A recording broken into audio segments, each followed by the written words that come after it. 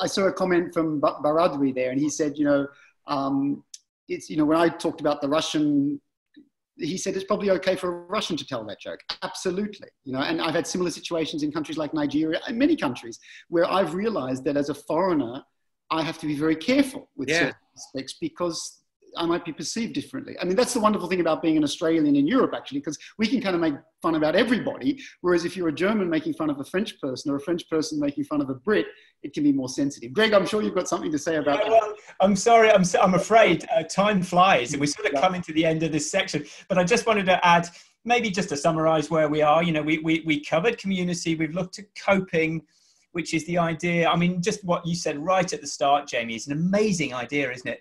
That we can have the same experience. And if we've switched on our sense of humor, and it's an attitude as much as a skill, God, we'll have lower tension and, and stress. That's mm. really fantastic right now. We're going to move on to the next part. By the way, Freed, Walter says sorry about his comment about the joke. Well, you don't need to be sorry. Don't be sorry. What we were saying is, uh, yes, there, there, should be jokes in Germany. You just need to understand the right ones. I probably couldn't tell them no, you know, no, no, you, you, now no, you can understand why I'm such a boring person. No, Friederike, not true. No, Friederike, yeah, because as you know, I should tell you, I lived in Germany for five years, and and you know, when I moved to Germany from the U, people in the UK where I was living before, they said German people don't have a sense of humor.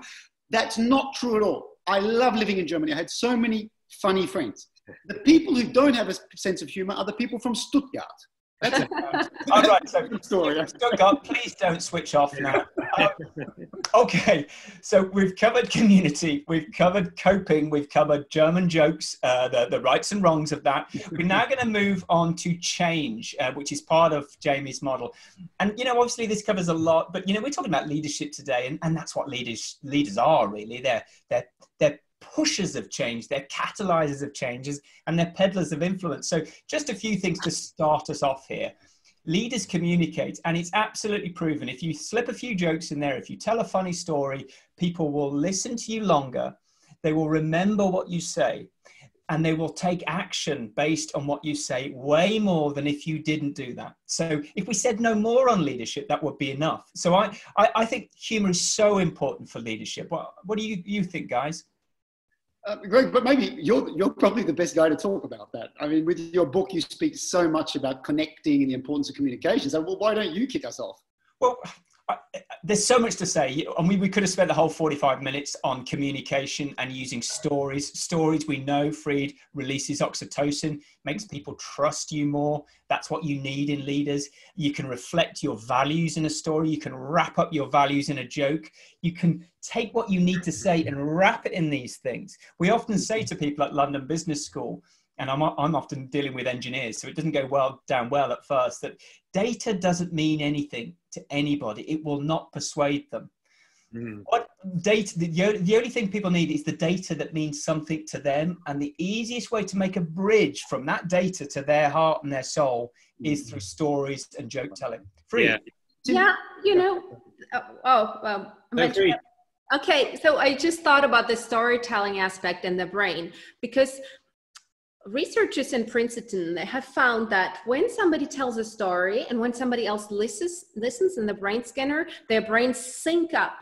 Mm. So storytelling is unique because it synchronizes our brain with the brain of another person.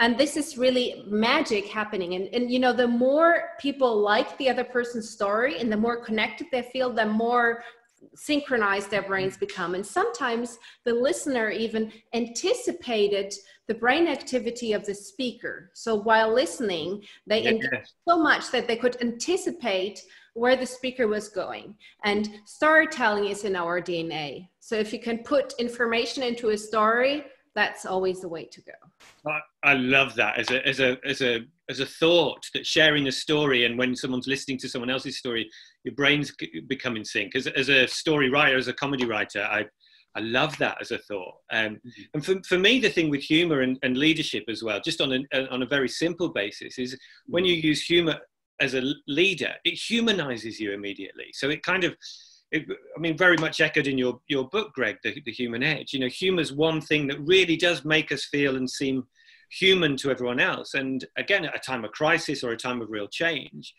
that's so important for any leader, isn't it? To kind of just say, I'm just like, you know, I'm one of I'm one of us. We're we're all in it together as as human beings.